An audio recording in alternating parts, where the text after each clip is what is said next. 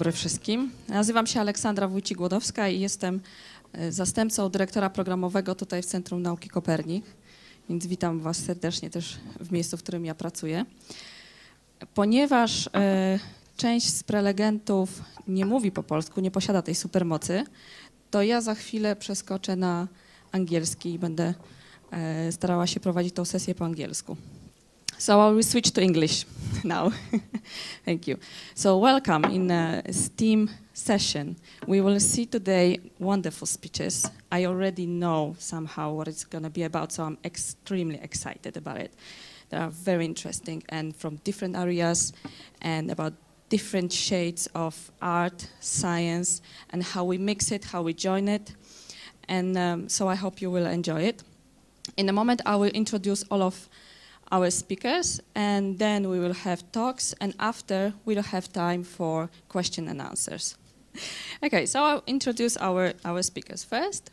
Uh, Joanna Lisiecka, you already know her. She coordinates this wonderful uh, conference. And um, welcome.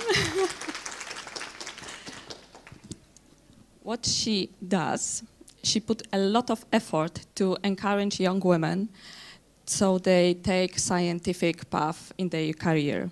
She does it by different projects like Girls as Engineers, Girls Go Science, and of course Lean in STEAM. Welcome. Another speaker, I will go in the order of talks, okay?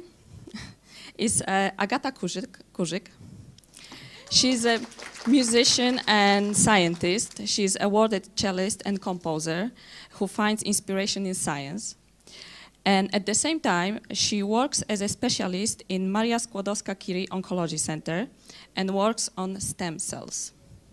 Some of, some of, you, of you could see her yesterday um, um, with this amazing performance uh, as the cooperation with our another speaker, who is Katrin Zazeński. Welcome. She's, she's also an artist and researcher in one.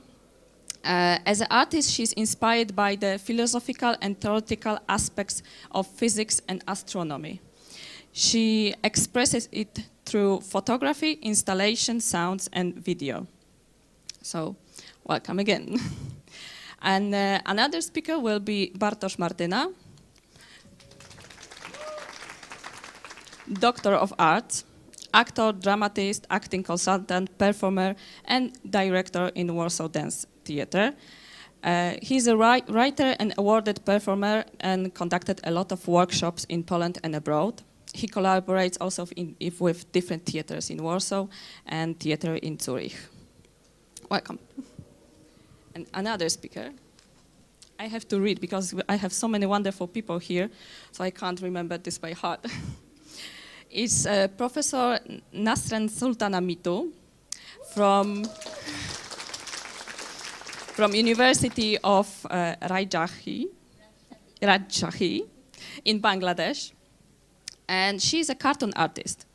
Her works were printed in different Bangladesh magazines and newspapers, uh, and uh, she's often awarded for her cartoon wo works.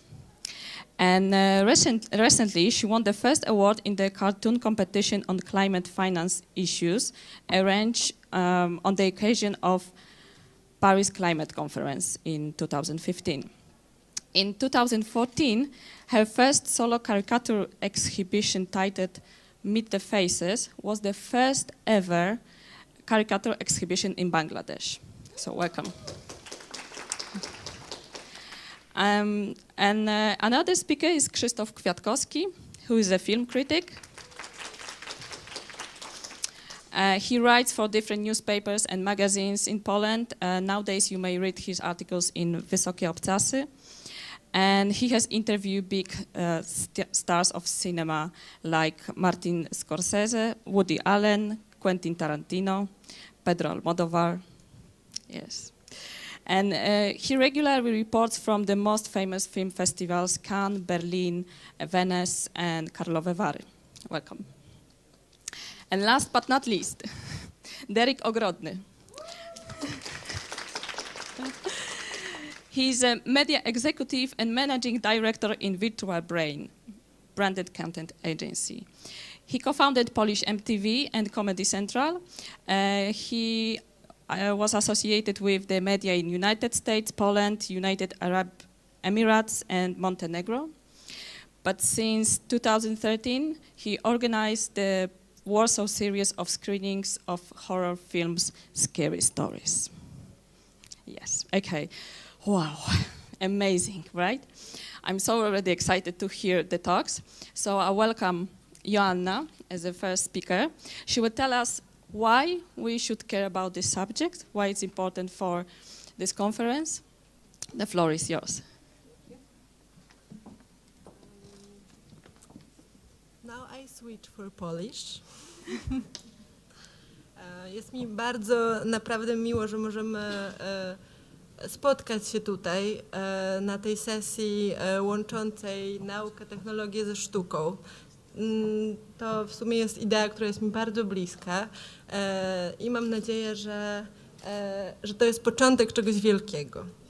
E, Koncepcja STEAM, czyli Science, Technology, Engineering, Mathematics and Arts, może być realizowana w kilku obszarach. E, Jednym z tych obszarów to jest nauka e, dla sztuki. E, tutaj mamy Agatę Kurzyk, która jest przykładem naukowczyni, która czerpie inspirację w nauce ze sztuki. Zresztą odwrotnie też to funkcjonuje, ale dzisiaj z tego co wiem opowie nam o tym, jak właśnie co daje jej sztuka przy tworzeniu nauki.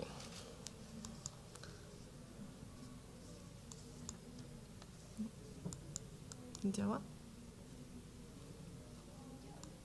A, okej.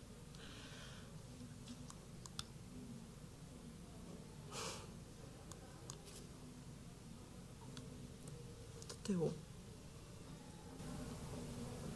O, do tyłu. Dwa do tyłu potrzebuję.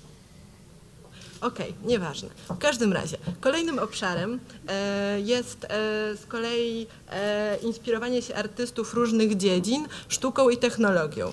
E, w tym korzystanie z osiągnięć nauki i technologii. I tutaj mamy wiele znakomitych przykładów e, takich artystów i są to Katrin Zazeński, artystka wizualna, Bartosz Martyna, aktor i performer, e, Nasren Sultanamitu, artystka komiksowa, tak jak przedstawiała Ola, Krzysztof Kwiatkowski, krytyk filmowy oraz Derik Ogrodny, wybitny specjalista od horrorów.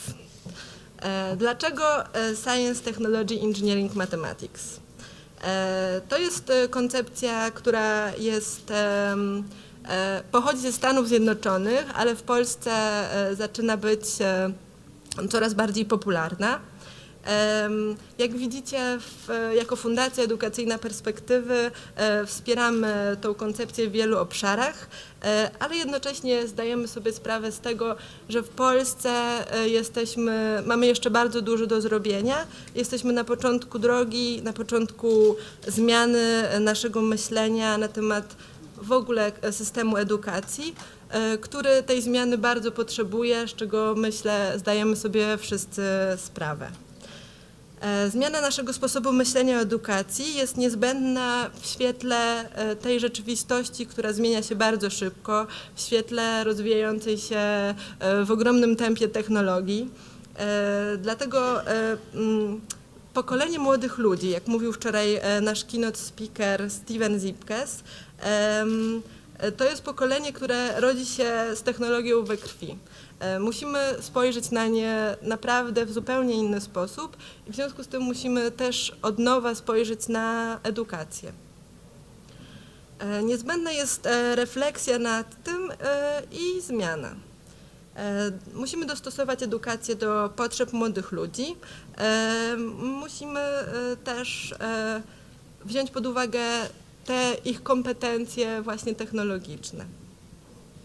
E, W tym momencie na sali obok odbywa się sesja nauki, e, sesja Centrum Nauki Kopernik STEM Educators in Action. E, I to jest sesja dla nauczycielów, nauczycieli i edukatorów. Prowadzi ją dyrektor Centrum Nauki Kopernik Robert Firmhofer oraz Kuba Bochiński. którzy pokazują przykłady bardzo mądrych i nowoczesnych działań edukacyjnych, które prowadzone są przez Kopernika. E, ta zmiana w edukacji to jest zmiana, która nadchodzi. E, na razie dzieje się ona mm, przez małe rewolucje, e, takie, które no i przykładem takiej rewolucji jest właśnie to, co robi Centrum Nauki Kopernik, ale czujemy w kościach, że, że będzie się działo. STEAM, Science, Technology, Engineering, Mathematics. E, odczarujmy wizerunek dziedzin ścisłych jako trudnych i nudnych. E, pomóżmy naszym dzieciom prowadzić eksperymenty, doświadczać, próbować i tworzyć. E, nie sadzajmy ich w ławkach z podręcznikiem na kolanach, wykorzystajmy ich kompetencje i wzbudźmy w nich pasję. I tutaj właśnie zaczyna się ta relacja nauki i technologii ze sztuką, ponieważ wierzymy w to, że żeby tworzyć naukę i technologię, e, musimy włączyć w edukację także sztukę. I ta sztuka, edukacja poprzez sztukę powinna być obecna e, już od początku. E, powinniśmy używać obu półkul naszego mózgu,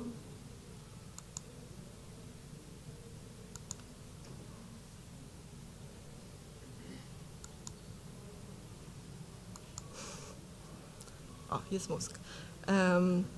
E, gdyż e, mamy, jak wiecie, mamy dwie półkule. E, jedna lewa jest odpowiedzialna za logiczne myślenie, za mowę, rozumienie, pisanie, myślenie analityczne, zdolności rozpoznawania przedmiotów. I jest prawa półkula, która jest odpowiedzialna za kreatywność, tworzenie, zdolności artystyczne, myślenie abstrakcyjne, intuicję. Naszym zadaniem jest uruchamiać tą prawą półkulę, My e, w naszych szkołach niestety zaniedbujemy prawe półkule naszych dzieci. E, no, ale e, wiemy, wiemy, co musimy zrobić, żeby, żeby było lepiej. Mm. Tutaj, tutaj mam takie, taką grafikę, która E, pokazuje badania, które zostały zrobione na University of Florida e, i a, tylko że nie widać. No nic. E, w każdym razie z tych badań wynika, ja zachęcam do tego, żeby się z nimi zapoznać szczegółowo, z nich wynika, że studenci uczący się metodą STEM lepiej rozwiązują problemy, są bardziej innowacyjni, są bardziej wynalazczy, są samowystarczalni, myślą logicznie.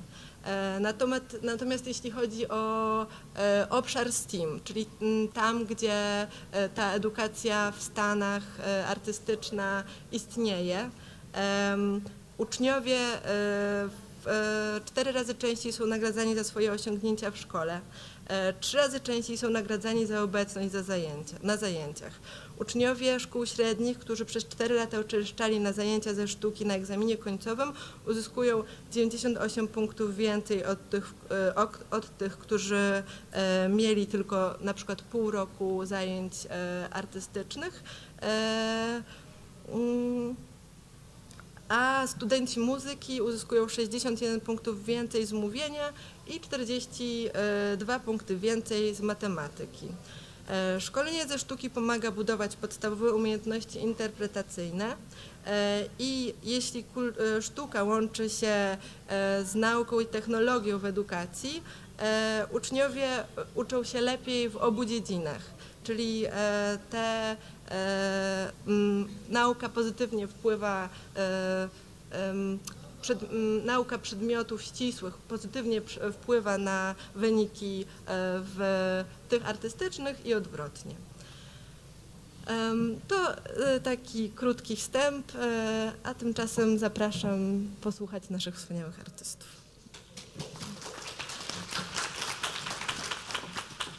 Thank you, thank you, Anna. Now we'll we will give the object of power the remote control to Agata Kuzik. And please, the floor is yours. You can walk, you can take a, grab a microphone, whatever you wish. So she will uh, share with us her experience how being a musician helps her in work uh, in the science. Jest okay? Okej. Y, Dzień dobry. Też będę mówiła po polsku teraz. Nazywam się Agata Kurzyk y, i chciałabym Państwa zaprosić do mojego laboratorium muzycznego, w którym opowiem o tym, jak łączyć e, pasję i co to łączenie pasji, jak pomaga mi w moim rozwoju, w mojej pracy. O, och, za szybko. No więc przygotowując, y, jestem muzykiem i naukowcem. Jestem czasem naukowcem samym, a czasem tylko muzykiem, a czasem i naukowcem i muzykiem, tak jak tutaj. I zastanawiałam się, dlaczego tak naprawdę nie mogę się zdecydować do na to, żeby zająć się po prostu jedną rzeczą. Po prostu, żeby zająć się wreszcie albo muzyką, albo nauką. I stwierdziłam, że przygotowując tę prezentację, że tak naprawdę to jest coś, co bardzo pociąga mnie w tym, że nie mogę zostawić ani jednego, ani drugiego. I tak naprawdę jest to eksperymentowanie. Właśnie to, co tutaj jest napisane. Ponieważ tak naprawdę eksperymentujemy od zawsze, od dziecka. Eksperymentujemy już tylko jak się urodziliśmy, potem eksperymentujemy w życiu, w kuchni, w, e, w związku, eksperymentujemy w modzie, w makijażu, we wszystkim tak naprawdę. I z czego to wynika? Wynika to po prostu z pomysłów, które nam w, e, pojawiają się w głowie. I tych pomysłów mamy tak dużo, że po prostu postanowiliśmy, że będziemy je realizować. To są te trzy rzeczy, które tak naprawdę powodują, że ja chcę zajmować się i muzyką, i nauką. A czym tak naprawdę dokładnie się zajmuję? Mianowicie gram na wiolonczeli i komponuję. E, wiolonczeli gram trochę nietypowo, ponieważ podłączam sobie tam e, różne, przeróżne instrumenty elektroniczne, tak zwany looper, który zapętla mi dźwięk. Powoduje, że brzmi jak kobieta orkiestra, a jestem tylko sama, jedna. Ale żeby eksperymentować, ponieważ też lubię eksperymentować w muzyce, to lubię też eksperymentować w nauce. I w nauce pracuję w Centrum Onkologii. E, I jestem częścią zespołu badawczego, który zajmuje się komórkami macierzystymi i szeroko pojętą medycyną regeneracyjną. Różnicujemy komórki w kierunku kości, chrząstki, próbujemy tworzyć nerwy, próbujemy, e, próbujemy tworzyć naczynia krwionośne. Generalnie bardzo dużo jest tych projektów i tak naprawdę też tam eksperymentuję. Więc y, pomyślałam sobie, y, pisząc mm, wstęp do mojej pracy doktorskiej, że mm, czytałam o embriogenezie i pomyślałam sobie, że kurczę, może to byłby fajny temat w ogóle do tego, żeby wykorzystać to w muzyce. I co by było, gdyby po prostu zakodować naukę w muzyce? A ponieważ miałam pracę do napisania w, na studiach kompozycji i mój profesor powiedział, pani Agato, musi pani napisać kompozycję na temat, który pani sobie wybierze, więc musiałam tutaj wykazać się swoją kreatywnością. Więc myślałam, kurczę, embriogeneza jest świetna, dlatego to jest, ponieważ jest to podział komórek, od z pojedynczej komórki dochodzi do podziałów, e, do, do, do coraz większych podziałów komórek, do różnicowania się ich, powstania zarodka, a następnie tworzenia się nowego życia. I uznałam, że to jest świetny materiał, więc wzięłam wiolonczeli i zaczęłam eksperymentować. Zaczęłam grać i z tego powstał utwór, który nazwałam Embryo Cells. I chciałam Państwu pokazać także, jak wygląda partytura. Partytura wygląda z pozoru też dosyć tradycyjnie, gdyż też są nuty. To wszystko jest napisane odręcznie, więc wymagało to też dużo pracy. Ale jak y, Państwo spojrzą dalej, to okazuje się, że także w partyturach możemy wykazać się i także kreatywnością, ponieważ muzyka jest językiem uniwersalnym i możemy też tworzyć własny język i pisać tam tak, jak chcemy, jak czujemy, to, co chcemy zagrać i przekazać e, innym. I w taki oto sposób powstał ten utwór i pomyślałam sobie, że to jest niesamowite, że tak naprawdę mogę wykorzystać naukę do muzyki, a co mi daje muzyka do nauki? No przede wszystkim jest tutaj po prostu długa lista samych pozytywów, które daje mi nauka, daje mi muzyka w nauce. Przede wszystkim jestem bardziej zorganizowana. Tutaj będę klikała dalej i pokazywała te wszystkie cechy, ponieważ nie mamy tyle czasu, żebym mogła o tym opowiadać. Natomiast chciałabym skupić się przede wszystkim na tym, że daje mi dużo większą intuicję. Mam dużo szersze spojrzenie na dany problem, a jednocześnie pozwala mi na to, że, mm, że poszukuje wielu możliwości rozwiązania jednego problemu, co jest niesamowicie ważne w nauce, żeby po prostu ciągle poszukiwać. Jeśli jeden raz się coś nam nie uda, to próbujemy dalej i dalej, co powoduje także, że jestem bardziej odporna na porażki i nie zniechęcam się, kiedy nie wychodzi mi coś za pierwszym razem. Oczywiście ta lista, jak Państwo widzą, jest bardzo, bardzo długa, ale co dla mnie jest najważniejsze? Najważniejsze jest dla mnie to, że tak naprawdę to połączenie i to wykorzystanie pasji i łączenie tych dwóch rzeczy pozwala mi na to, że ja czuję to, co ja robię. A jeśli czuję to, co ja robię, to oznacza, że ja to na pewno wykonam i zrealizuję. I e, to jest tak naprawdę taka oczywistość, oczywista oczywistość, która, którą nie dostrzegamy, a która jest niesamowicie ważna. To jest tak zwana ta wartość dodana, gdzie 2 plus 2 równa się 5, a nie 4. I zawsze to te nasze pasje, pomimo tego, że zajmujemy się zawodowo innymi rzeczami, zawsze dodadzą nam po prostu rzeczy, których nie byliśmy w stanie sobie wyobrazić, gdybyśmy zajmowali się tylko jedną rzeczą. I to jest to, o czym mówiła oczywiście Asia o prawej i lewej półkuli, ale to jest właśnie ten cały nasz środek, to jest to, to całe clue tego, um, o co w tym wszystkim chodzi.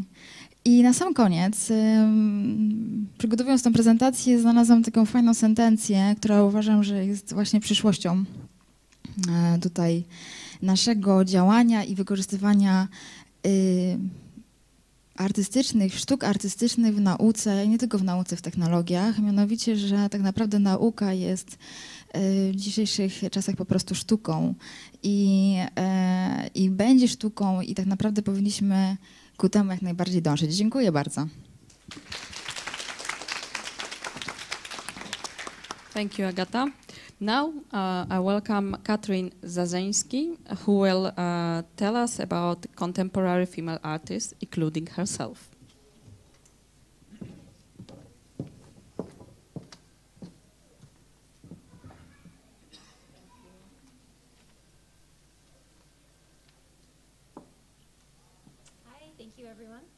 Um, so I am going to tell us a little bit about um, STEM, uh, the situation between STEM and contemporary art. Um, so what is this relationship between science, technology, engineering, and math and art? How do these systems influence one another? How do they come together? And what does this look like? Artists being inspired by science and innovation is not a new thing. Um, but it's not often talked about in the greater population from the perspective of contemporary fine art, which is what I consider myself a contemporary fine artist. Um, and when I say contemporary, I mean artwork that is not necessarily driven by notions of beauty, but rather work that is driven by its conceptual framework. So, what's informing the work? I've decided to introduce you to seven contemporary female artists today, including myself, uh, who make art that uh, has a very strong relationship to science and STEM field, science and or STEM fields. Uh, these examples aren't uh, even a fraction of what is out there right now and what has been out there uh, for for many years. Um, they represent a range of conceptual, aesthetic, and sensorial experiences. Uh, so it's my goal today to share with you a few examples of the ways in which art and STEM works come, uh, art and STEM comes together to create not art at the service of science and not science at the service of art, uh, but rather a new system of understanding the varied and interconnected ways that we experience this world. So it's really more about a partnership uh, than one, one working for the other. So I'll start with uh, some images of my own work. These two photographs uh, are part of a series that I've done while I've been here in Warsaw. I'm here um, with the generous support of the U.S. Fulbright um, grant, uh, on a U.S. Fulbright grant. Um, and I'm here working with physicists and astronomers in, in Warsaw. My primary interest in this collaboration is uh, really the similarities between uh, our fields and how we think as scientists and artists. We're both encouraged, and, and it's a part of our job to really uh, retain that sense of curiosity and, and exploration um, and, and question how we perceive the world and, and translate that in a new way. Uh, these photographs were specifically inspired by ideas about the relationship of time and space, multidimensionality, and the information in the form of waves and energies that surround and occupy our bodies at every moment that we're simply unable to perceive and measure uh, yet. So, the next artist that I'd like to introduce is another artist from the US. Her name is Heather McGill um, where the form of her sculptural objects are typically inspired by astronomical drawings, patterns of planetary rotations, or as we can see, see here, the schemata for a toy model of the American Space Station. So the shape of this, this sculptural piece um, is inspired by a, a toy schemata. The form was cut using the plans for the toy model, while the hand-painted patterns on top of the form are related to contemporary fashion and notions of camouflage.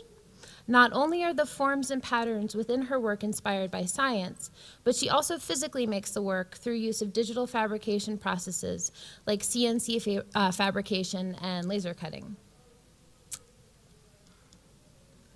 Um, unfortunately, and, and I'll say it here now specifically. Um, these images just don't do these works justice. Uh, so many of them, you really have to see them in person in the space to experience the full um, to get a sense for the full experience of these works. For example, this installation where you only see the uh, uh, headless body here in a, in a sea of black, uh, that's a physical installation that you walk through to experience sound and um, how it informs your body.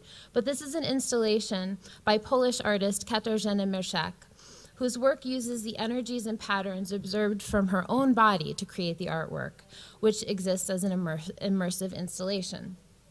This piece was created by monitoring her sleep patterns through analysis like EEG, blood oxygen saturation levels, respiratory, respiratory movements of uh, her chest and abdomen, etc. Uh, and this was all conducted at the Sleep Disorder Center at the Institute of Psychiatry and Neurology here in Warsaw. She then worked with the composer Rafał Zapawa to create an immersive sound installation that uh, interprets all of this data that was recorded from her body. The next artist I'll talk about is, again, American artist Tara Knight. Um, and this is just a, an installation pic of her, her work, Solar Variations, that was done in collaboration with physicist Adam Burgesser and artist Michael Trillo. Uh, together, they created an interactive video uh, installation that reinterprets the sun setting over Southern California.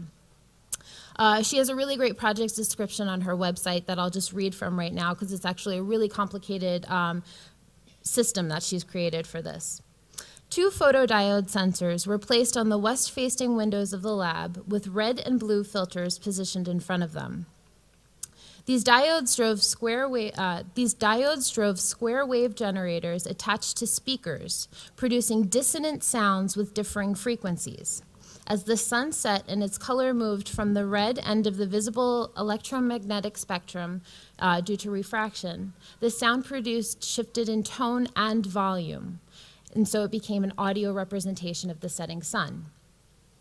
This was the basic idea collecting method used to create this installation, which also featured an interactive video of the sun during a synthetic 24-hour cycle, which was also manipulated by the ambient sound of the room within the installation. And you can see a picture of that um, synthetic 24-hour cycle of the sun um, on the diagram in front of her. The next artist I'll talk about is uh, from Scotland. Uh, her name is Katie Patterson. Um, and this is her piece, Earth, Moon, Earth. But what we see here are the radio transmissions that were written in Morse code and sent from the Earth to the surface of the moon and then were received back to the Earth. The message that was sent was, was a translated version of Beethoven's Moonlight Sonata.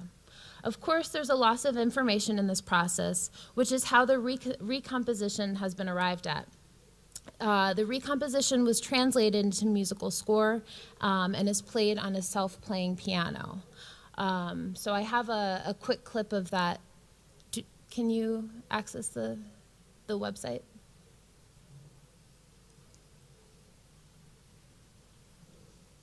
Just to give you a sense for what it sounds like.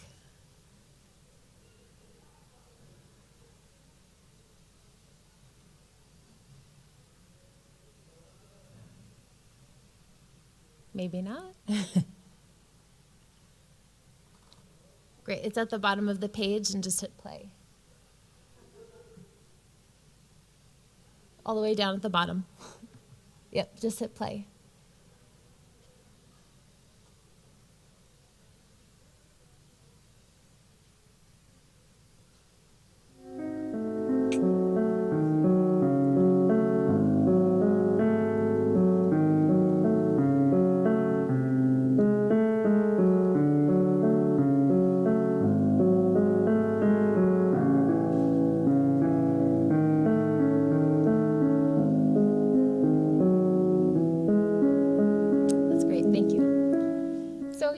Some similarities in there.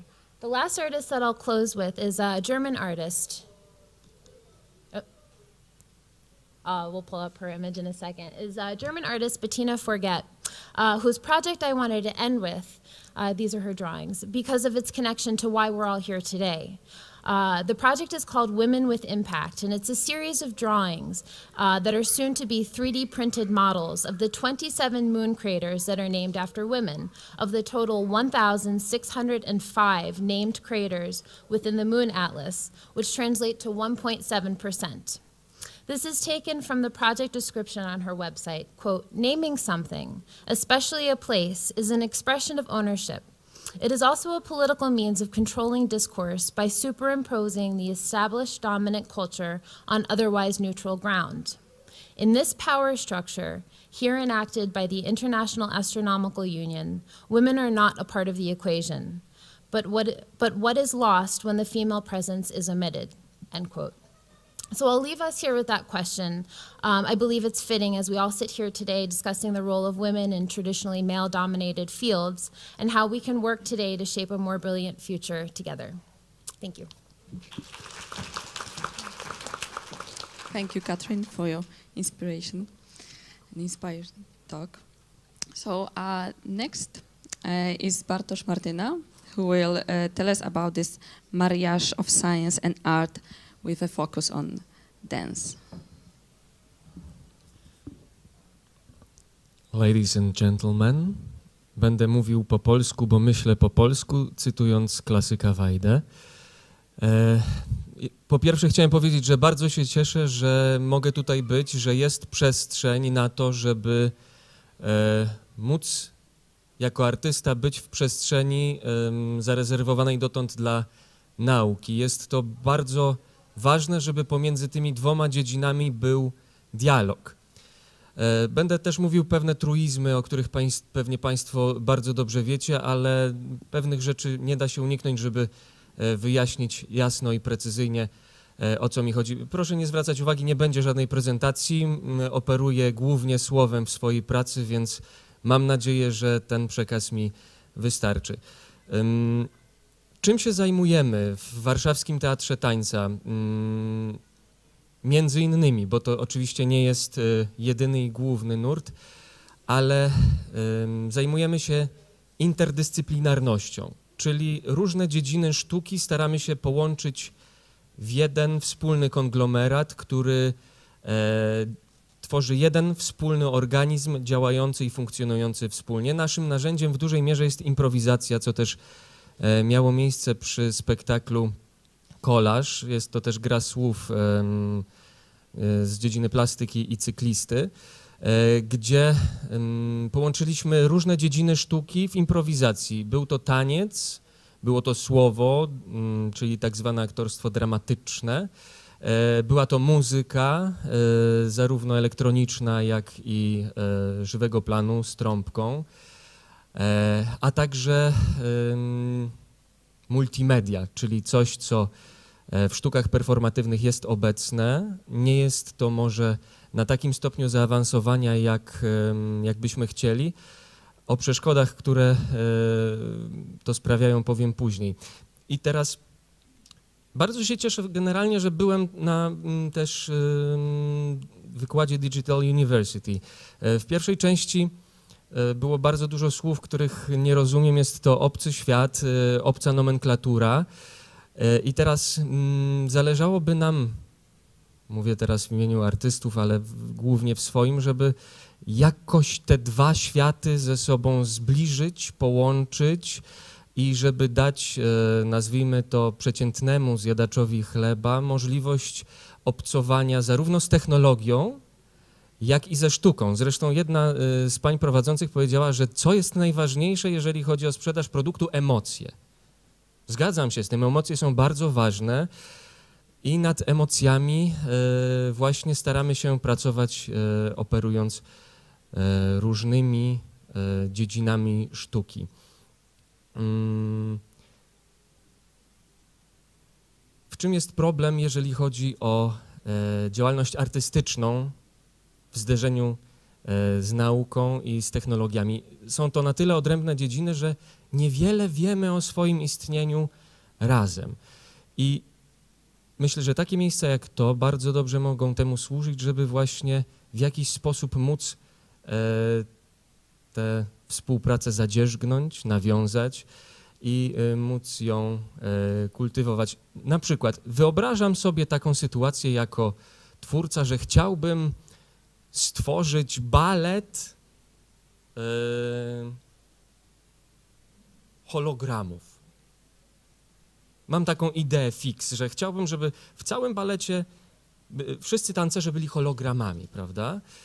I teraz pojawia się pewna bariera, yy, niestety, ale yy, główna zazwyczaj, że e, kultura jako dziedzina życia jest e, niespecjalnie dobrze dotowana, wręcz e, słabo. I tutaj pragnę też polobbować przy okazji, skoro już mam 7 minut przy mikrofonie, żeby e, zarówno dziedzinę biznesu, jak i nauki, technologii zachęcić do tego, żeby wspierać również innowacyjne projekty kulturalne, bo dlaczegoż by nie miało być teatru tańca złożonego z hologramów.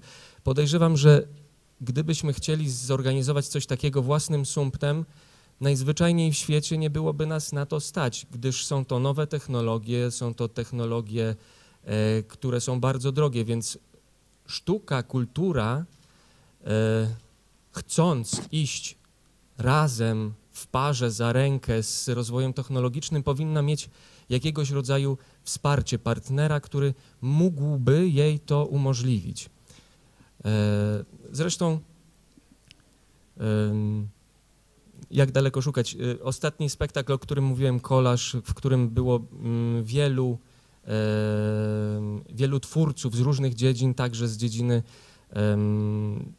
sztuk wizualnych, operujących właśnie projekcjami, programami komputerowymi, na których ja się osobiście nie znam, ale wszystko to miało być zintegrowane w taki sposób, żeby było, działo się na żywo. Oczywiście, gdybyśmy dysponowali lepszym sprzętem, po prostu lepszym sprzętem, podejrzewam, że można by było osiągnąć jeszcze lepszy efekt, żeby tę iluzję e, teatralną przedstawić jeszcze bardziej, żeby jeszcze bardziej móc oszukać widza, e, prezentując mu e, również zdobycze najnowszych technologii, jakie są obecnie dostępne na rynku. I w sumie tyle chciałem Państwu z tego miejsca powiedzieć. Bardzo dziękuję za uwagę. Thank you um, for your talk. And now we welcome Nasren Sultana Mitu, who will talk about her project Tiktala. Sorry. Yes, that's the name. the floor is yours. Hello. Um, first, I greet you all and I give a little more introduction about myself. Beside cartooning, cartooning, I actually work as a science educator in university level. And every time we go to our classes, the science teachers and students, we say, yeah, learning science is fun. Is it really fun? The thing is this, like, when I was a kid, there is a page of our science textbook. It's about environmental uh, awareness and eco-balance. Honestly, I didn't find it enough interesting, and I didn't find it that fun. But this blue guy, he actually made my childhood a fun thing, like environmental education. I wanted to learn it in this way, like some cool guy who actually want to make some learning fun. Like the we want to save our environment, we want to make it a balance, but when it's written in a text, it wasn't interesting enough for me. But when about these cool stuffs, firstly, these were not very much local. Uh, I should mention, like, uh, this 160 million people live in Bangladesh and they speak Bangla, not in English. Firstly, there is no Bangla resource besides the textbooks which can supplement this and these informal resources they actually do not supplement the textbooks because we have some core in there and you want to get good grades in the examinations. So end of the day you have to learn these stuffs and when you go to the supplementary resources you cannot actually get everything written in there because it's not bangla. And again about the issues like when we study like for example global warming the very common example we use it like polar bear the polar bear is going to extinct does it make any sense for a Bangladeshi kid? Because polar bear is not part of his or her reality. But if we know that Bangladesh is one of the countries who will suffer the most for global warming, a large portion of Bangladesh will go under the sea within 50 years, and it really does make sense to them. So when making additional resources, firstly, we have to make it interesting, and also we have to make it local in terms of language, in terms of issues, in terms of culture. And we, when we cannot provide it, we ask them to make, learn science, we ask them to build a science career, and we sympathize, like, oh, poor kid, because they are all drowned with so many information so many things for going running for the examination learning for the good grades. And that is the situation that happens in the tertiary level. Because when tertiary level we ask them to build a stem career the graph actually go downwards. The blue line actually uh, indicates the male percentage and the green line is for female percentage. Both are under 20 percent. 20% of our kids go to build a STEM career, science career in tertiary level and it's actually uh, till 2011 now uh, i don't have the recent data but it's still below 20 so what can we do? That's why we actually introduced this project. This project is uh, okay the first question is like what is tiktaalik? It's it's very much inspired by this guy and his exploration like tiktaalik neil shubin he uh, first explored this animal this fish-like animal who actually first, he was the first fish who came to see what's beyond the ocean. And that's the spirit of Project Tiktaalik. Like, we uh, want to promote science education not as a bunch of factual knowledge, but as, uh, as an attitude to question why and how. That was our main idea. So we named our project as Project Tiktaalik. We want our kids to question why it happens, wh how it happens. Okay. And then we have uh, the first idea of us is promoting science learning using cartoon and comics. Uh, so it's uh, not unusual that I'm kind of kind of biased to cartoon because it's also my career.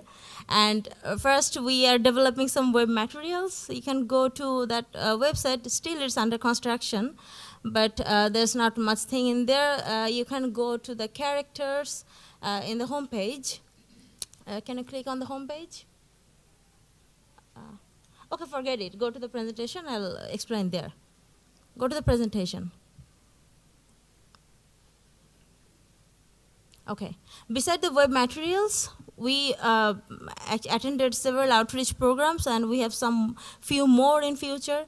Uh, uh, for example, like astronomical workshop, Project Tiktaalik took a two-hour session on our solar system. Actually, we introduced our solar system in a cartoon way we introduced our planets and uh, their orbits and all, and people really enjoy it.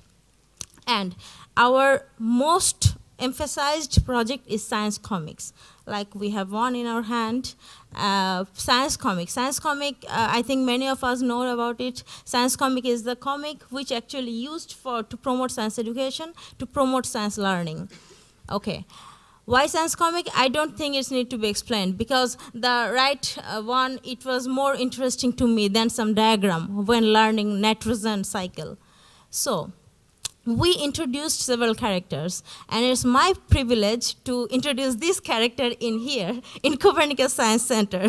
He's one of our characters, and we have Galileo, and beside these famous characters, we have some fictional characters as well. It's Pluto and Rinky. Okay, let's talk a bit more about Pluto the magnifier. He magnifies stuffs. He or she, he is very gender neutral because he is a little superstitious and we want to encourage girls doesn't mean we want to indicate boys are superstitious so this character is gender neutral he is curious he or she and emotional and every time they try to be smart they get into some troubles and seek help from rinky Shabjanta. Shabjanta is actually a Bangla word. It means wise. She is actually the counterpart of Pluto, who is the smarter one. She's smart, rational, brave, courageous, intelligent, and she loves science. She's very smart, she's very courageous. It's actually a deliberate attempt to encourage our girls to build a STEM career and to get confident that they can do it. The girls can be smarter, the girls can be rational, the girls are not some emotional geeks who actually go and only spends their days with makeup and all. So we want to use this character to encourage our girls. Okay. Part of our science comic program, like I showed you, it was the first science comic in Bangladesh. It was published in last February uh, Galileo and Pluto was there, and I should mention like it was only uh, the first science comic in Bangla language as well. And Bangla is the seventh most spoken language in the world, so I should uh, I believe that this is uh, actually huge step for us. And beside that, we are actually regularly publishing our comic in our monthly magazine, which is widely popular in there. It has a huge uh, circulation of 40 to 50,000 copy. So they publish two or three pages of science comic from Tiktaalik in regular basis. Okay. And beside that, we have some further plans like interactive apps, games, and many more science comic. Actually, these are the idea of Project Tiktaalik. Our main attempt is to promote science learning as a fun thing. Like science is not a difficult subject anymore. Science is something, a lifestyle. Science is an attitude. Science is a view to see the world in a new way. And that's our idea. So another thing I should introduce, like it's also a comic thing you can uh, it was hanging in outside yesterday. It's actually another plan of us, our upcoming plan. Plan like we want to introduce some role models in STEM career. We means actually four of us. Uh, three of us are already in there. Bangladesh, Poland, Slovakia, and Indonesia. We want to explore four female role models in STEM, and we want to make some biographical comic book including those characters. And I think we believe that actually this project will be a very encouraging, it will play an encouraging role to encourage more girls to build a STEM career. And that was all of my presentation. Thank you. And uh, after the presentation, if one, anyone wants to see the comics, and there are a few more comics, Bangladeshi comics for nutrition awareness, you can have a look. Thank you. Thank you. Thank you for this colorful presentation. Okay, and the next speaker is Krzysztof Kwiatkowski, who will tell us how art, STEM, and social sciences meet in uh, movie industry. Tak, to prawda. Dzień dobry. I e, No tak, muszę uruchomić obie półkule, mam notatki po angielsku, ale rzeczywiście tak. Więc właśnie myśląc gdzieś o tym wystąpieniu, które e, no, nie jest długie i, i, no właściwie tak sobie myślałem, że taki czas na, z tego co pamiętam, na wypalenie papierosa, więc pomyślałem, że wolałbym mówić e, mniej głęboko z siłą rzeczy, ale, ale szerzej, co też pewnie oddaje moje socjologiczne wykształcenie, bo wiadomo, że socjologowie mówią dużo na każdy temat, ale nigdy głęboko. Więc e, e no właśnie, więc pomyślałem o takich drogach, którymi można pójść badając, e, badając, obserwując właśnie związki kina, sztuki filmowej, filmu i no właśnie technologii, nauki, e, też fizyki. Więc pierwszą taką dosyć oczywistą jest badanie e, przedstawień, to znaczy badanie reprezentacji, tego jak przedstawiana jest nauka, naukowcy, nauki ścisłe w kinie. I myślę, że to bardzo e, rzeczywiście też dużo mówi o społeczeństwie, ale nie chcę wchodzić, bo to pewnie zaraz Derek będzie o tym, o tym mówił, będzie świetnym przykładem właśnie tego podejścia, no ale, ale rzeczywiście w tym, w tym bardzo dużo widać od takich klasycznych frankensteinowskich pytań, e, czy naukowiec jest odpowiedzialny za, za, za swoje dzieło i wynalazki, przez oczywiście cały science fiction, no ale też biografię naukowców, e, którzy, którzy niestety zwykle w filmach popadają w schizofrenię albo w obłęd, ale to filmy od poważnych filmów, tak jak, nie wiem, niedawno Gra Tajemnic, e, Alanie Turingu, przez, e, przez co zrobią z przymrużeniem oka, jak e, ona Spike'a Jonesa.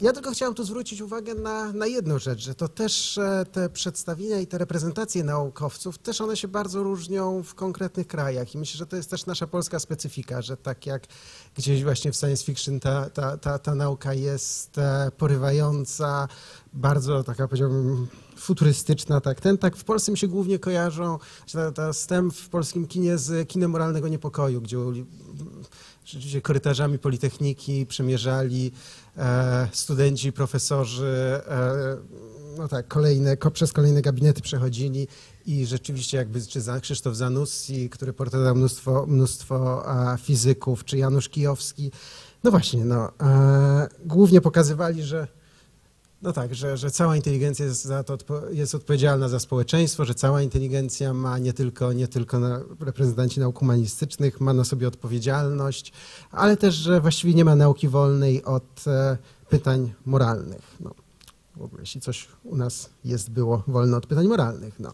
Ale druga droga taka, która mi przychodzi do głowy, to rzeczywiście jest ten moment, kiedy, e, no to trochę też e, nawiązując do tej prezentacji o sztuce, że sztuka i, te, i sztuka i nauka jakby nawzajem na siebie wpływają, współtworzą się. No to właściwie w kinie też istnieje niemal początku, no, czy, czy myśląc o e, pewnych e, teoriach, które, za, które inspirowały, no nie wiem, no, myślę o Eisensteinie, właściwie jednym z twórców e, w ogóle montażu no, i najważniejszych rozwiązań montażowych. On też inspirował się tym, jak e, na przykład ludzki umysł odbiera, jak ludzki umysł odbiera pewne przekazy, e, ile dokładnie sekund ma trwać konkretny, konkretne ujęcie, ile jakie ile, ile to wszystko ma trwać, żeby odpowiednio reagować na widza. To wszystko jest, e, bardzo często to wszystko jest poparte bardzo dokładnymi właśnie badaniami, e, badaniami naukowymi, no właśnie. I natomiast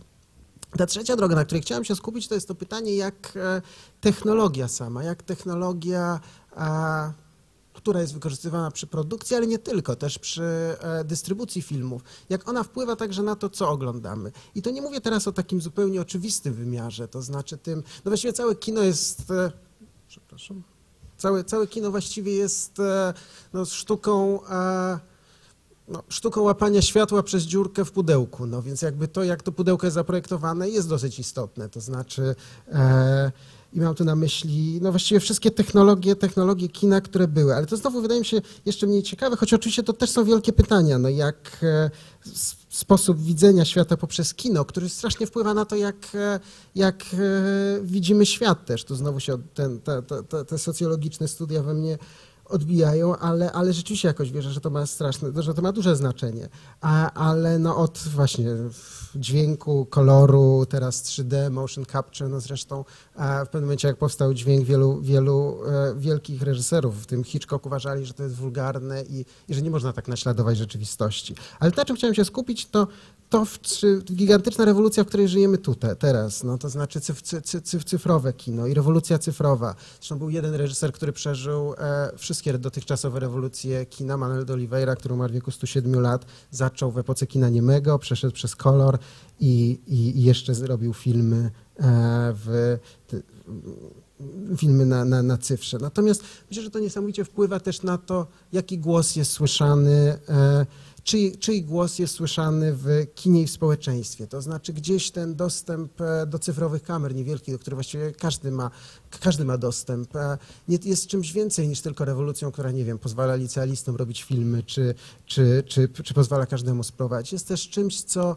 e, niesamowicie demokratyzuje kino, a przez to i przestrzeń publiczną. I znowu, no, są tacy reżyserzy, którzy po prostu do tego zaczynali, gdzieś poszli dalej, no nie wiem, Xavier Dolan, który jest teraz, e, no teraz już właściwie jest e, doświadczonym twórcą, bo ma 27 lat, ale już w zeszłym roku były takie wybrane jego filmografie, no też zaczynał na cyfrze, no ale to jest pewnie, on i tak przebił. Natomiast niesamowite jest to, jak bardzo e, technologia pozwala przebić się głosom, które, które nie byłyby słyszane. Myślę tu na przykład, nie wiem, no, e, przychodzi mi do głowy film Nation Jonathana Coweta, bardzo takiego powiedziałbym chłopaka z problemami z Houston w Teksasie, który e, w pewnym momencie zmontował swoje nagrania domowe kręcone na taśmie Super 8, które i stworzył dziko przejmujący film o odkrywaniu swojej seksualności, ale też o dorastaniu w cieniu choroby psychicznej.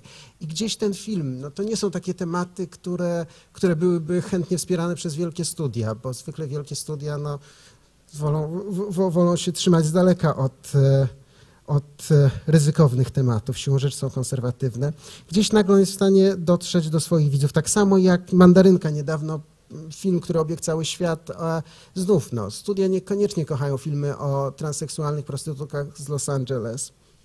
E, a nagle on jest w stanie to zrobić iPhone'em w absolutnie kinowej jakości. I właśnie, no, e, czy w, total, czy w autorytarnych reżimach, tak jak Chinach zupełnie się zmieniło to, o czym się opowiada dzięki Weibo, czyli chińskiego odpowiedniku Twittera i, i, no i w ogóle jakby cała szósta generacja filmowców tam jest. Więc kończąc, chciałem tylko powiedzieć, że też e, nie tylko produkcja, ale też dystrybucja, też takie platformy, na przykład dla profesjonalistów, dzięki czemu te filmy docierają do festiwalowych programerów, którzy potem umieszczają na festiwalach. Dzięki temu, że są dystrybutorzy, dzięki temu, że kopie cyfrowe są dużo tańsze, e, nie ma już problemu stworzenia kopii właściwie.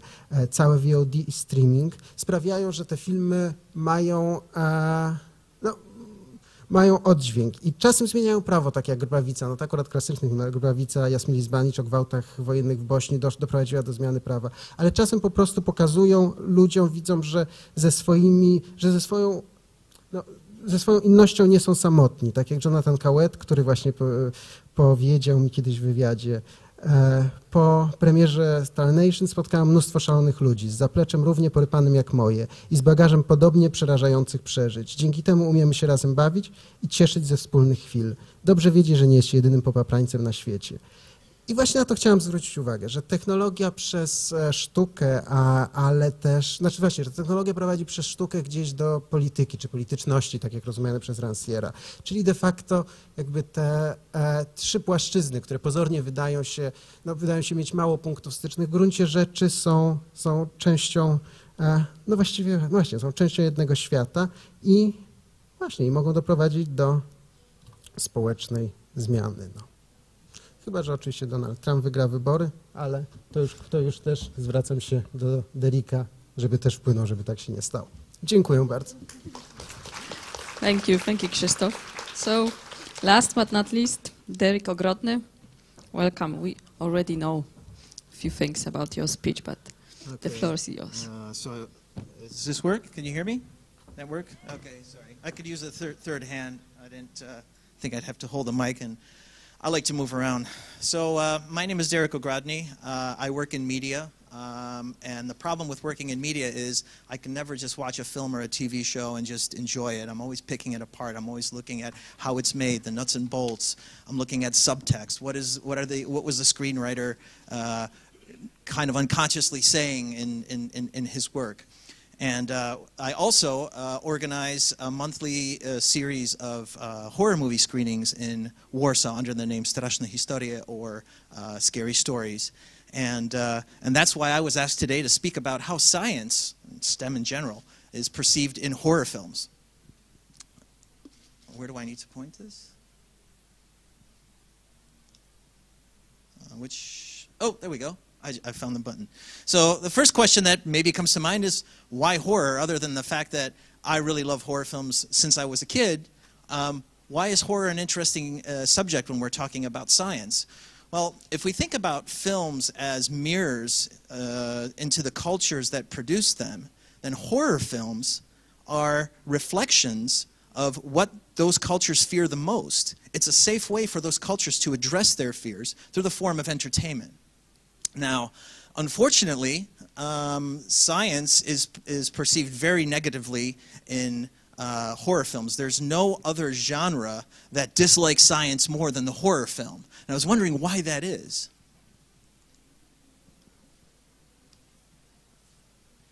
Actually, I shouldn't even say science in general. It's more unchecked science. Science run amok. Uh, the scientist playing God. Okay? And the personification of that is the mad scientist, right? We all know that icon. He appears appeared not only in horror films, you see him in, in comedies. He's got, you know, uh, really weird hair. He's really obsessive. He probably talks in a foreign accent, and he's really passionate about what he does, and he usually has evil intentions. And uh, where does uh, where do we get the, the the this iconic mad scientist? Well, most likely, I'm, I'm going to most of the research uh, uh, points to this is from Mary Shelley's novel Frankenstein from 1818, right? Um, which was very popular uh, in its time. Um, also, the 1931 film adaptation of her novel, also called Frankenstein, uh, directed by James Whale, which is one of the first bona fide classics of the horror genre. And it's really this film, Frankenstein, uh, that cemented the image of the mad scientist in popular culture. A British writer named Christopher uh, Frayling uh, wrote probably the definitive book on uh, the uh, image of the scientist in uh, movies. Uh, it's called Mad, Bad, and Dangerous, the Scientist in Cinema.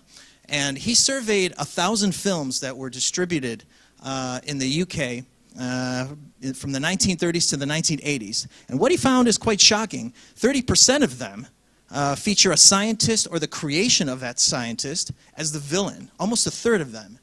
39% uh, feature threats uh, produced by scientific research. For example, as I have on my slide, a creature from the Black Lagoon who came out of radiation, right? A mutated fish, half man, half salmon, I don't know what the heck he is. And uh, unfortunately, uh, only 11% of these films featured scientists as heroes, and that's quite alarming. Which leads me to ask, why are we so afraid of scientists? What have they done to us? And uh, I came up with three points. And first of all, uh, what's kind of scary is scientists have special knowledge that they could use against us, right? I mean, we wouldn't know better what they're what they're plotting. They can be using it for evil purposes, such as Hannibal Lecter, you know, genius psychologists who you know can pick apart your brain and get you to do all kinds of nasty things, and then let them eat you, I guess. Uh, another, another thing is even if the scientist isn't crazy, uh, they tend to have, their goals tend to be uh, um, immoral, uh, as in the film Splice, which I will address uh, in a bit. And also we're afraid of the unintentional bad consequences of this research. So my example here uh, is Jeff uh, Goldblum in uh, David Cronenberg's remake of The Fly, in which uh, he becomes this, uh, in, in, trying to, uh, testing out a teleportation device to teleport his body from one end of the room to another, winds up kind of becoming this half-man, half-insect creature that spews up bodily fluids as illustrated on the slide. Um, now, in the Victorian era, scientists were perceived as heroic explorers, especially in the works of Jules Verne, H.G. Wells, Arthur Conan Doyle. But something, uh, the world really changed. Uh, something happened in 1920, uh, 1929 that changed everything.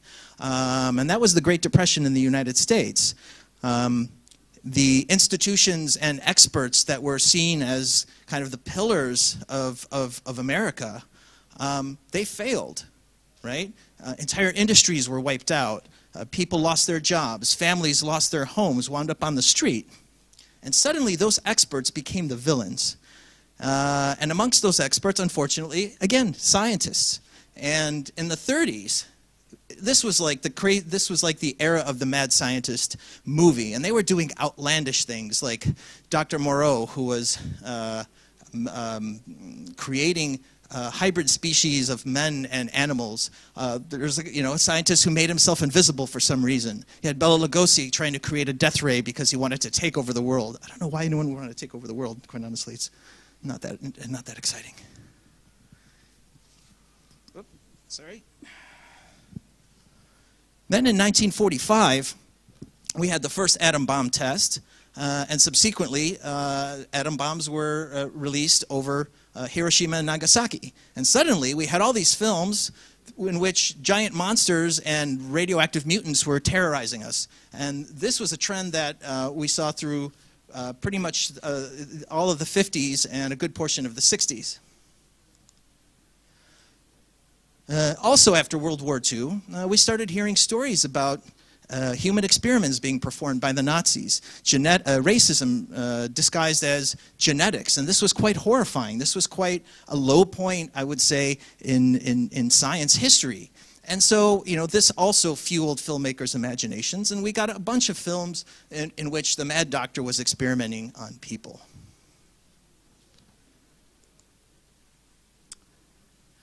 And then uh, in later years, let's say the 70s and beyond, to, even to today, uh, we entered the era of uh, bioengineering, gene splicing, cloning, uh, stem cell research, uh, AIDS research. And suddenly we got a bunch of films that about mystery viruses that were threatening to wipe out uh, humanity or turn them into flesh-eating ghouls. We had genetic uh, uh, mutations um, that uh, were born because, I don't know, the wrong drugs were being administered to the mother when she was pregnant. Which leads me now to uh, females, female scientists in, uh, in, in, in horror films. Well, you know, they say uh, uh, art imitates life. And as you could expect, there are very few female scientists in films in general, let alone horror films. In all films, you will generally find less than uh, a third of them are uh, scientists are female. They tend to be more often assistants to male scientists, or the unwilling uh, guinea pigs in some uh, crazy scientist's uh, experiment. Also, when we do, when we, uh, do have a, uh, a, female protagonist who's a scientist, she tends to be more concerned about dealing with some kind of uh, personal issues than she is about her research. Male scientists tend to be very, very focused on, uh, on, on, their work, and they have a very noble goal in all of it. They want to save humanity, they want to cure cancer, uh, they want to save children, whereas the, the woman, she always has like some kind of private goal that she needs to accomplish, and that research is, is the road to it. And I'll give a few examples of that later. And then the female scientists tend to be sexualized. And I chose these very tacky uh, clip art images because I Googled uh, images of female scientists, and I got the one on the right you know, a, she's in high heels and a, and, a, and a short skirt and a lab coat. You know, that can't be conducive to, to, to working in a laboratory. Um, and when I looked at how it was labeled, it just said female chemist. Now compare that to the to the gray-haired, um, serious scientist on the on the left, who's probably discovering that cure for cancer, whereas the one the girl on the right is probably thinking about you know going to the hairdresser later that day.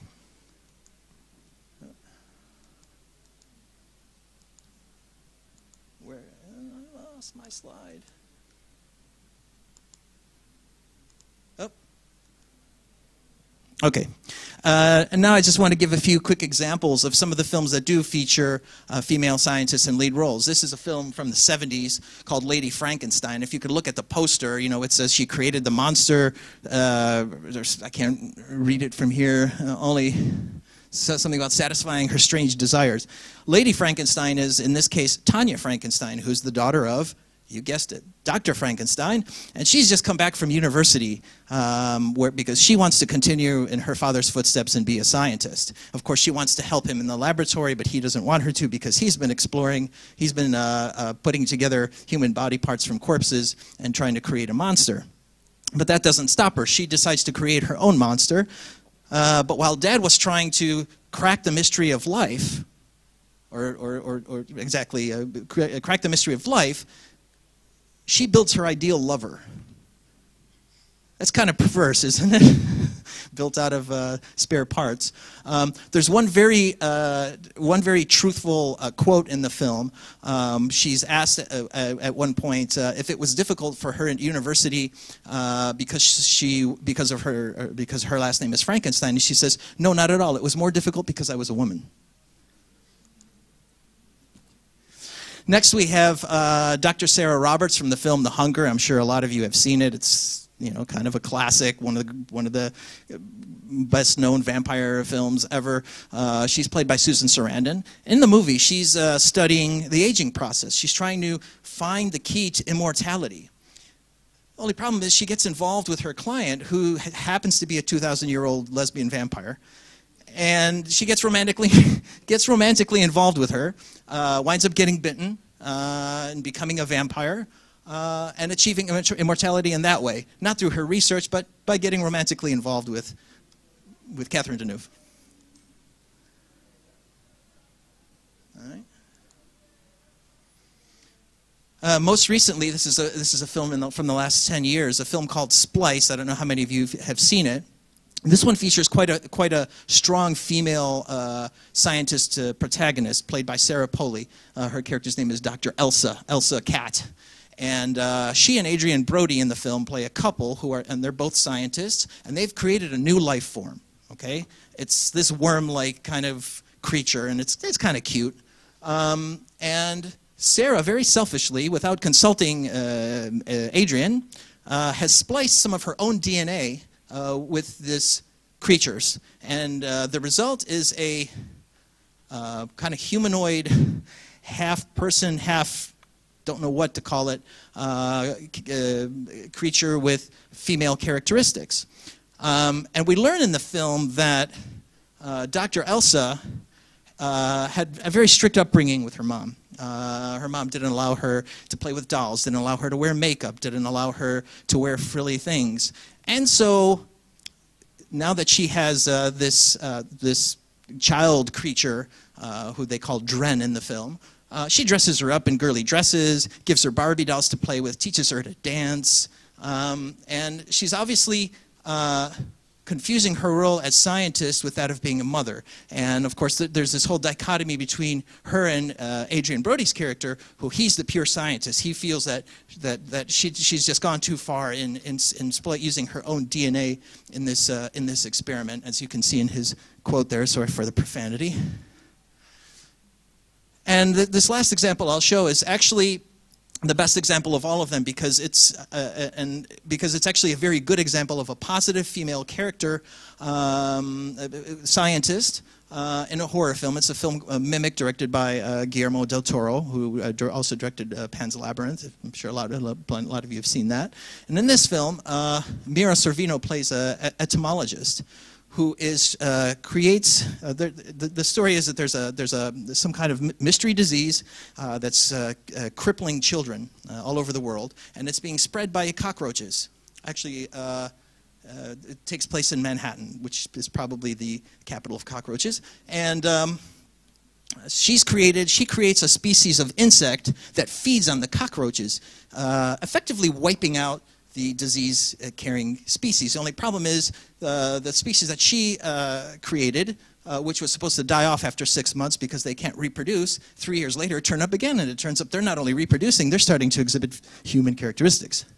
But in this film, she doesn't have a hidden agenda. She wants to save children. She's a very, very strong woman, very positive, and uh, I guess we kind of need more like her. If life is to imitate art or art to imitate life, we need more female scientists, not only in, in the movies, but in life as well, in the real world. Thank you very much.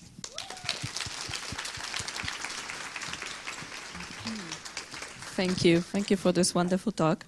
So um, I dare to say that we have still time for some questions from the audience. Are there any? Oh, come on. I can't believe it. I think we are shocked. I will have to get them. No one wants to be first. Yeah, I'll be the first one. Okay, so uh, to give the questions, I will switch to Polish. Okay? So if somebody needs translation, please. Okay. Ach, teraz muszę użyć innej części mózgu. E, to nie jest łatwe. E, bardzo dziękuję Wam za e, te wystąpienia. One były naprawdę inspirujące. To, co jest takim wspólnym e, mianownikiem oczywiście, to jest ta interdyscyplinarność. Gdzieś tam przenikanie się tych dwóch światów, sztuka e, z nauką, e, z polityką w pewnym momencie. I widzieliśmy bardzo fajnie, jak sztuka dużo czerpie z nauki. Inspiracji, potrafi ją przetwarzać i w połączeniu z, z nauką zmienić świat trochę, tak, i politykę, prawo. E, jednocześnie czerpie, żeby budować pewne role, pewne wzorce, e, czasami tu trochę przekręcone postacie naukowców. Ale chciałam się zapytać Was, jak z Waszego doświadczenia, z tego, co już przeżyliście, co Wam się wydaje, co można dać sztuka nauce, naukowcom, e, którzy niekoniecznie muszą e, korzystać z tego, czym jest e, w ogóle z jakichś aktywności związanych ze sztuką, ale czy są jakieś umiejętności, kompetencje albo doświadczenie, które się zdobywa poprzez pracę mm, w różnych dziedzinach sztuki, która może rozwinąć naukowców albo może im coś dać?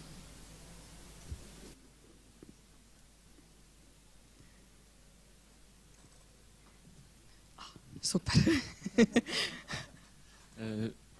raz, dwa, trzy, działa. Na pewno jest, co zauważyłem, będąc e, za granicą, coraz większy nacisk kładziony na to, żeby również naukowcy prezentowali swoje osiągnięcia w pewnej formie performatywnej. I są to takie krótkie e, slamy naukowe, nazwijmy to w ten sposób, więc na pewno sztuka performatywna w pewien sposób może wspomóc chociażby prezentację osiągnięć, co przekłada się dalej również na, na dalsze profity już takie mm, osobiste, w sensie, że jest możliwość zaprezentowania swojej wiedzy w odpowiedni sposób, tak aby do innych dotrzeć. Mało tego, jeszcze e, z racji tej, że mm, fascynuje mnie improwizacja, jako dziedzina sztuki, mm, wiem na pewno, że to pobudza kreatywność, że to powoduje, że człowiek inaczej, e, inaczej patrzy na świat, inaczej odbiera bodźce. I mówię tutaj zarówno o improwizacji mm, słownej, jak i o improwizacji ruchowej, czyli tanecznej. Wydaje mi się, że to bardzo poszerza horyzonty generalnie człowieka, który E, z improwizacją spotyka się na co dzień, chociażby w takiej sytuacji jak teraz też improwizujemy, prawda, pytania, odpowiedzi, więc y, improwizacja jest ciekawą sztuką. No właśnie. O, Agata? No, to jest po tyle, na tyle trudne pytanie, żeby tak jednoznacznie powiedzieć, ponieważ jeśli dotykamy sztuki, a chcemy mówić o tym, co nam daje to w nauce, to tak naprawdę jest to, to mieszanie y, tych dwóch dziedzin, no, byśmy mówili o takich właśnie trywialnych rzeczach, które dla każdego wydają się oczywiste, ale ich nie, nie wykorzystujemy i nie robimy tego. I to właśnie o to chodzi. Więc według mnie przede wszystkim naukowcom kontakt ze sztuką i na przykład, nie wiem, chociażby tu mówię, opowiem o muzyce, ponieważ mi jest najbliższa, no to przede wszystkim tutaj najważniejsza jest rzecz, że nie wiem, czy Państwo wiedzą, ale generalnie nasz mózg po prostu się y, odnawia, odnawiają się neurony i tak naprawdę powinniśmy pamiętać o tym, że jeśli nawet nie nauczyliśmy się grać na jakimś instrumencie, będąc młodym, albo nie nauczyliśmy się wielu innych rzeczy, których po prostu chcieliśmy zrobić, to mamy tę szansę, dlatego że mm, okazuje się, że jest tak zwane takie okno, kreatywne okno, które pozwala na to, że możemy nauczyć się na nowo rzeczy, których wcześniej się nie mieliśmy okazji nauczyć. O co chodzi? Dokładnie chodzi o to, że wystarczy po prostu zacząć słuchać muzyki. Okazuje się, że muzyka jest jedyną dziedziną, jeśli chodzi ze wszystkich sztuk artystycznych, która pozwala na to, że jeśli nawet, nie wiem, mamy już dużo więcej lat niż te 8, czy 10, czy 15, na to, że wyzwala w nas na tyle taką kreatywność, że okazuje się, że jesteśmy w stanie nauczyć się rzeczy naprawdę nowych, i to wydaje mi się y, niesamowicie istotne, ponieważ nam ciągle gdzieś w głowie siedzi ten mit, że no okej, okay, ale ja już jestem za stara, ja już jestem za stary, już w sumie nie ma mowy, żebym mogła czegoś się nauczyć, a to przecież nauczenie się nowych umiejętności niesamowicie y, wyzwala w nas kolejną energię do tego, byśmy byli bardziej odważni w naszych eksperymentach w laboratorium. Przede wszystkim chodzi o to, żeby wreszcie w tym laboratorium czuć taki na tyle duży luz w pracy, pracy, żeby nam przy okazji robienia bardzo poważnych eksperymentów przyszło do głowy, że a może zrobię sobie tak na wszelki wypadek poeksperymentuję, zrobię, zaimprowizuję właśnie jakiś tak na szybko jeden eksperyment i może zobaczę, co z tego wyjdzie. W moim doświadczeniu wychodzi, że najczęściej te robione takie na szybko przy okazji dają lepsze wyniki i są one zaskakujące niż te, które ja tak usilnie siedzę i po prostu tam piszę i zastanawiam się, no może to wyjdzie, może nie wyjdzie. Więc y, myślę, że tutaj w tę stronę chciałabym zwrócić uwagę.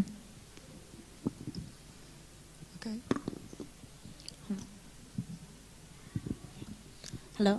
Uh, what I think is like we're talking about what art can do for science.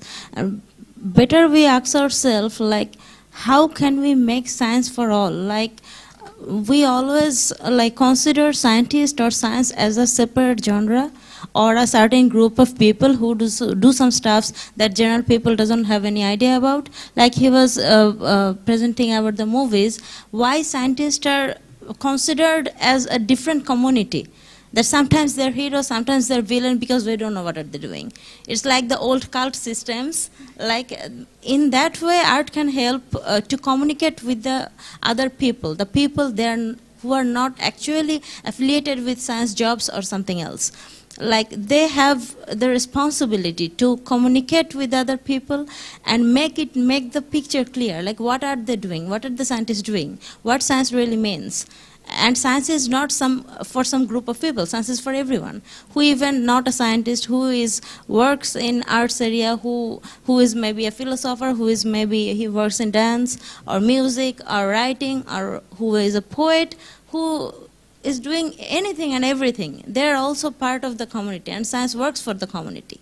So the whatever we say the cartoon or the music or whatever we i think that these could be used as a tool, as a very efficient tool to communicate with the normal people, to communicate and to let them know what science really is, what the scientists are really doing. Thank you. Ja właściwie chciałem powiedzieć, e, e, właśnie chciałem powiedzieć coś trochę w podobnym duchu, bo e, mam wrażenie, że, znaczy poza tym, że przemysł filmowy może, może e, naukowcom dać zarobić, ale to jakby, co też jest bardzo okej, okay, ale też e, no, ta kultura popularna jest strasznie ważna. Bardzo, jakby słuchałem bardzo uważnie, że w ogóle słuchałem bardzo uważnie. Słuchałem bardzo uważnie też te, tego, co mówiłeś o, o, o, horrorach, ponieważ, no właśnie, no, kino jest w takim podwójnym zapośredniczeniu. Z jednej strony jest stworzone przez pewne wyobrażenia i jest owocem pewnych wyobrażeń o społeczeństwie, o świecie, stąd też tyle stereotypów, a z drugiej strony też to kształtuje. I właśnie kultura popularna najlepiej zarówno odbija e, pewne wyobrażenia e, społeczne, ale też je kształtuje i to jest istotne. Na przykład w Polsce było kilka takich przykładów, kiedy e, właśnie naukowcy weszli w mariaż z no, twórcami najbardziej popularnego, najbardziej popularnej formy przekazu, czyli po prostu seriali, telenoweli. E, I to w kilku momentach, zarówno naukowcy społeczni, z punktu, znaczy z inspiracji socjolożki, profesor Łaciak, do której zgłosiła się holenderska ambasada, chcąc ocieplić swój wizerunek. Z jej inspiracji nagle w serialu Na dobre i na złe pojawił się holenderski, mam nadzieję, że dobrze mówię, holenderski lekarz, który, jak się okazało, właśnie no, gdzieś tam zupełnie zmienił obraz tego Holendra, że to już nie tylko jest e, rozpasany palacz marihuany, tylko właśnie ten ciepły, e, ciepły e, lekarz na dobre i na złe. Podobnie było z bardzo już jakby też jeszcze bardziej powiedziałbym donośnym przykładem, to znaczy z rakiem i tu znowu wydaje mi się, że to był wydaje mi się, że to był rak jąder, ale nie jestem pewien. No. Natomiast chodziło o badania, chodziło o, o nakłonienie do badań w klanie. To znaczy oczywiście w klanie pojawił się taki wątek e, właśnie nowotworowy, po którym e, niesamowicie wzrosła liczba osób, które poddawały się badaniom. To znaczy właśnie to jest taka zarówno, znaczy, po, po, poniekąd też o tym wspominałeś, że tak na tym mówię tym wspominałeś, że e, e, o popularyzacji, ale to jest też coś więcej. Znaczy, z jednej strony popularyzacja, ale też jakby aktywne wprowadzenie, wprowadzenie poniekąd, jakby nakłonienie do wprowadzenia tej nauki w życie, jakby odkrycie jej praktycznej, e, praktycznego wymiaru. Super, dziękuję. Uh, I just wanted to add, uh, I, was, I was going to say that in uh, Christopher Frayling's book, which I mentioned in my presentation, he talks at great length about how pop culture influences public opinion. It was what, exactly what you were saying, and that it works the other way as well. But he, he seems to think that that's much stronger than uh, fears being uh, of, of the public being expressed through films. I don't know if I completely uh, agree with that, but there's, de- there's definitely, it definitely goes in the other way. I mean, mass media are extremely influential to people, and especially in, the, in this day and age where uh, people just kind of get knee-jerk reactions to things because they see a, a, meme on Facebook and they, they just assume it's true. Uh, and they don't even fact check. Um, I can see how, how negative uh, uh, images or, or, portrayals of science and scientists in, in, in films would, would influence public opinion. Tak właśnie podsumowując, to to widać, jak to jest ważny e, temat, znaczy połączenie STEM-u z nauką i, i widać też, jak to, z tego, co mówicie, jak na różnych poziomach to się przenika. Znaczy to jest, e, sztuka e, może dać faktycznie narzędzia naukowcom, już konkretne, właśnie jak przedstawiać swoje wyniki, jak się komunikować, jednocześnie może dać pewne wzbogacić pewne umiejętności naukowców, y, właśnie bardziej kreatywne podchodzenie do swoich problemów, y, łatwiejsze eksperymentowanie, e, a, jedno, a, a, jeszcze z innej strony może być medium do przekazywania ważnych rzeczy i, i kreowania tego, jakby wskazywania na pewne ważne tematy, które w tej chwili są e, na tapecie albo o których powinniśmy rozmawiać. Więc to, to jest niesamowicie ważny temat. Ja myślę, że on jest bardzo, bardzo szeroki i bardzo fajnie, że w ogóle tutaj zaistniał. E, czy jest jakieś pytanie z sali? O, wspaniale. Tam, czy ktoś może podać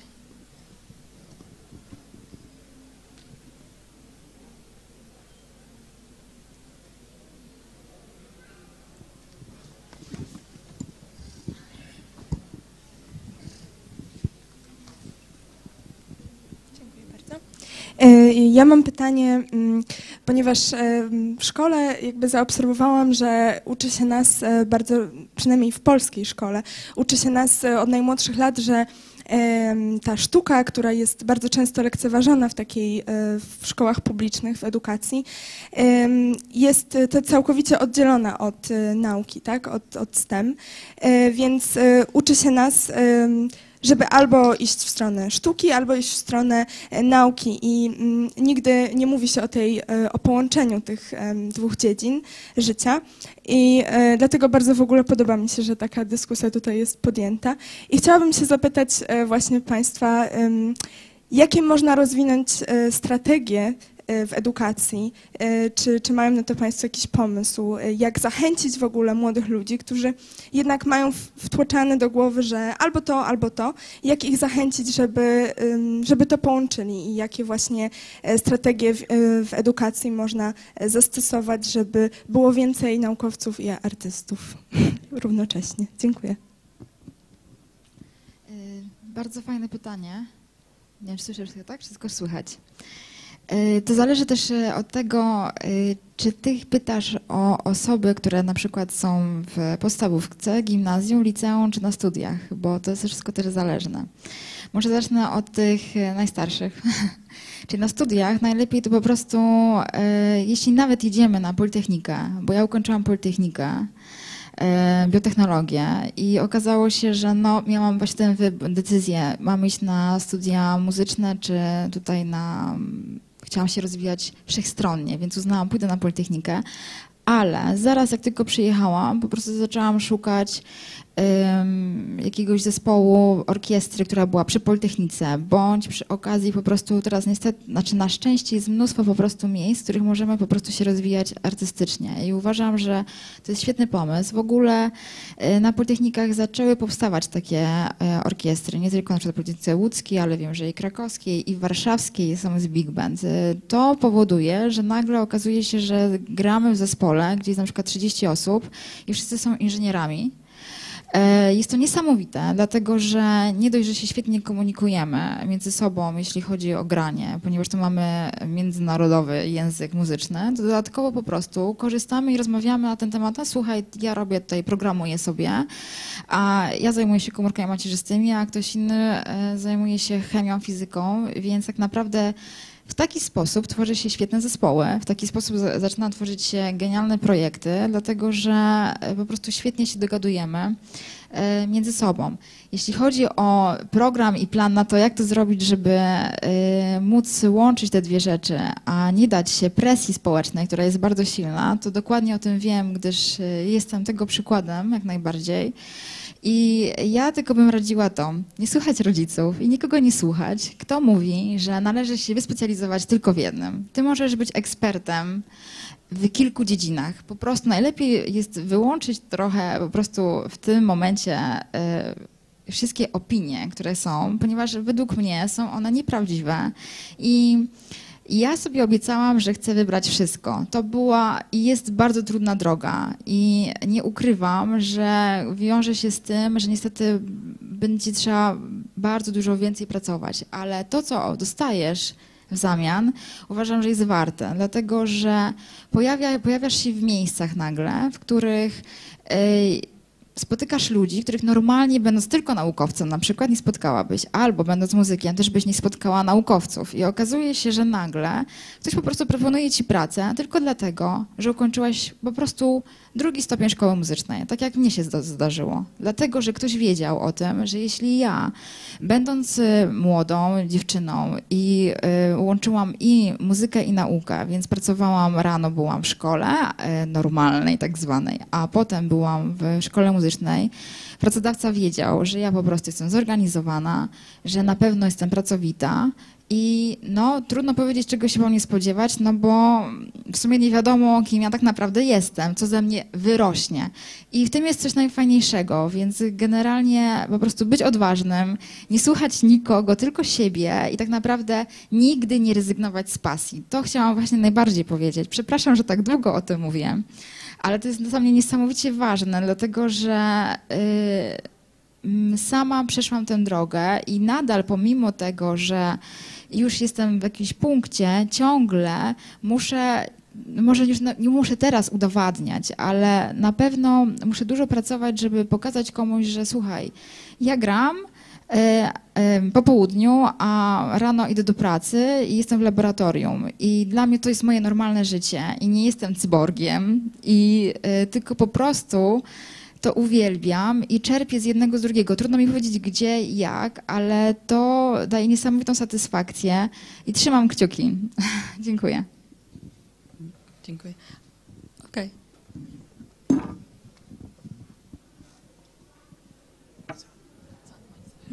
Hello. Uh, I want to share my opinion a bit listening to her. Like, I have been uh, doing cartoons for newspaper for seven years. So I, when I joined to university, it was the first question came to me, like, how are you going to manage? Because uh, it's a science education which is quite apart from cartooning or caricature or something else. Uh, then the academy, we really do not appreciate using those comic graphics in the presentations and all. In the classes, all text and several huge diagrams and all. But the thing is, uh, like she was, her question was like, it's like bridging the gap between arts and science. When in secondary schools in Bangladesh, the situation is worse because in uh, grade 9, they actually have to choose one stream, either science or arts or business. So the person who actually choose arts, they only have 100 marks course for science, and he or she has absolutely no other relation with science. So sometimes it's really difficult to bridge the gap. And from our project, the project Tikteleke presented, from there we are actually trying to put these two things together. Like one of our outreach program I talked about, like astronomical, uh, uh, along with Astronomical Association, we presented that uh, session on solar system. We actually offered the participants to design some characters on our planets. It's like concept art, concept art of our planets. You consider the weight, the mass of the planets. You consider the orbital, um, orbital year. You consider the characters of the planet. Then you do some concept art. You bring out its character as an not an object, as a person. So when you personify a planet, you have to use your creativity, apart from the science knowledge. So that's how we are trying to bridge the gap. So uh, within the inf- formal education system, it's always not possible, and we are not very optimistic about that. So within the outreach programs that's in our control, we are trying to do it in our way. Thank you. Thank you. Obawiam się, że nie mamy już za bardzo czasu na kolejne pytania. E, Dziękuję bardzo. Dziękuję tutaj e, prelegentom i dziękuję Państwu za udział w tej sesji.